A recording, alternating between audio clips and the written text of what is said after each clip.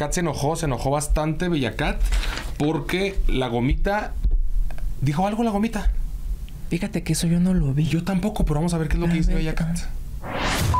güey, habló mal de mi cuerpo, güey. Como si sus nalgas no estuvieran todas desinfladas. Es que lo que no entiendo es cómo la gente que tiene cuerpo habla de mi cuerpo, güey.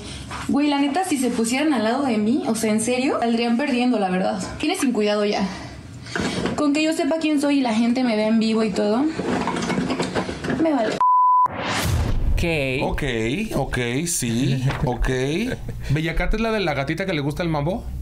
Me sentí de 83 años. Mejor hubiera sabido Chanik quién es Bella Cat que yo. Pero es ella. Yo pensé que era gomita, son iguales. No, Gomita tiene. Ah, es que dicen que no se vale hablar de los cuerpos de los demás. Algo habrá dicho Gomita. Pon tú que que sí, pon tú que sí dijo lo que, Lo que dijo. Bellacat dijo. Este, este número uno, adorada, te- yo te amo, Bellacat. Yo también, no te Este- conozco, pero yo también. Pero, pues aquí creo que está otro ejemplo como de no hablen de los cuerpos, pero voy a hablar del tuyo.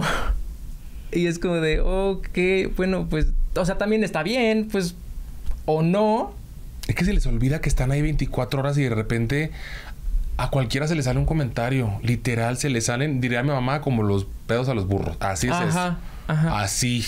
Y creo que no lo hacen con ninguna malicia, porque no hay una malicia. Ese es el ser no, hay- humano. No hay ninguna intención, No. ni ningún este dolo, ni nada, ¿no? Yo pensé que era gomita. O sea, por lo peor de todo, apar- aparte, lo que se me hace mal, criticar el cuerpo de otros sí, pero que se taquen entre mujeres, a mí sí me duele. Pues como nosotros. Como nosotros, nosotros, para que no van a decir, ay, porque tampoco los inclusivos, al rato Charlie Potocarrer y la Jules eh, funadas porque no hablan con el. Bueno, yo ya estoy acostumbrada y ahí luego te digo cómo sobrevivir. Yo pero estoy empezando en las redes, entonces mira,